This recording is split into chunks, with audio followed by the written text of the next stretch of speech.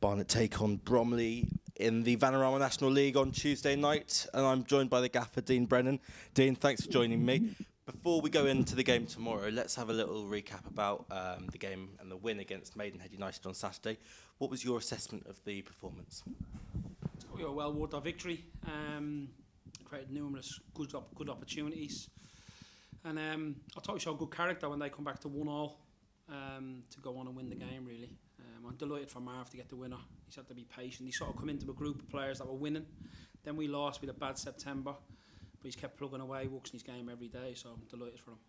Absolutely, obviously great goals from uh, Nicky as well. Ben with one of the assists of the season. What were your thoughts on that? Yeah, look, I say good performance. Moved the ball really well. Our pitch was very slow though. You know, we need to get our, our pitch water before games. It's something we request. Something else we'd like to happen for us as well to make us be able play higher tempo because we want to play high tempo. With more balls around the side, we'd like to get some ball boys, and that, I did request it early in the season. Um, so if we can get that, that would help as well. Some volunteers to do that. Um, that would help with the tempo we want to play at. But all in all, it was a really good performance. Hawley showed a lot of ability. Gorman showed maturity. The two subs made a good impact on the game. Nicky's goal was an outstanding goal. We've scored several good goals this season. Um, and realistically, we only made one error in the game, and that was sort of a goalkeeping error to give away the penalty.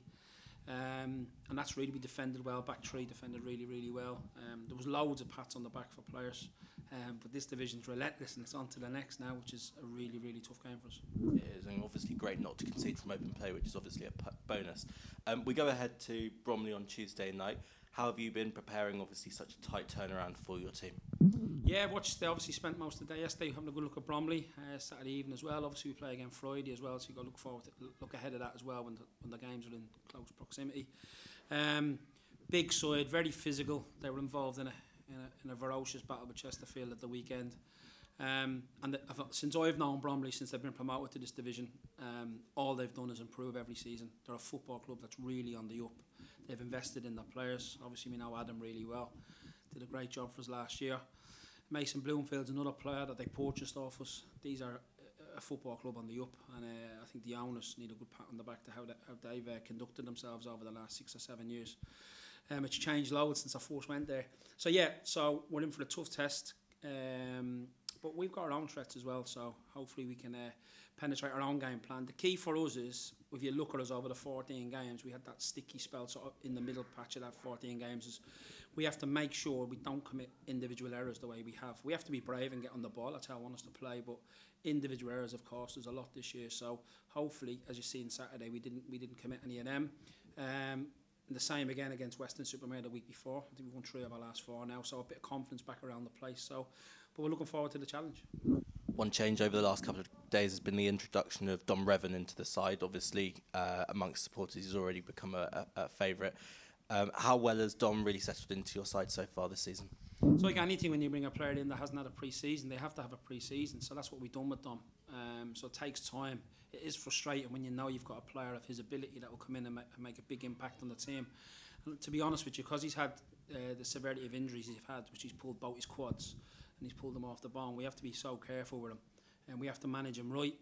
So we've got to build him up to where he can play Saturday, Tuesday, Saturday, Tuesday in, in this relentless division. So he's a good player, Dom. He's definitely a player for the future. Um, he's got a fantastic attitude, defends with power, speed, aggression, reads danger well. He's a throwback, really. So he's a player I've admired. I've, I've watched him for the last five years. I've been monitoring him for a long time. Tried to bring him to my previous club, and he chose to go somewhere else on loan when he was at Aston Villa. But look, we get to walk him now, and we just got to manage him right. That's so important. Great to see Powell back on the bench on Saturday, didn't make some minutes. How are the boys feeling after Saturday? Any injuries? Yeah, the injury list for us is Moose is not too well with his health. he's got issues, so we've, we've given him a couple of weeks off to go back to France and see his family. He's going to have to reboot and come back and do a pre-season. Sam Beard's still out. Michael Phillips is out with a calf injury. He's going to be out for several months. Jim Maldoza had an operation on his groin on Saturday. Um, we probably won't see Jamal for about three months, so he's been a massive blow for us. We always sort of knew Efron was going to move on and the replacement, the idea replacement was Jamar. So he's out at the minute. Um, and who else have we got? Oh, we've got JT still out with his knee. He's still got a few weeks to come back even into training. So we have got a few injuries. Um, Sean Shields has got a slight issue. Uh, he's got, uh, he was in the dentist today. And it looks like he's got an abscess. So we'll find out more of him, how he is. So we have got some injuries, to be honest with you, and then we just got to make a decision how we what we do with someone like a, like a Dom Revan. Do we keep throwing him in the deep end or not? I'll make that decision tomorrow. Dean, thanks for your time. I really appreciate it. Cheers.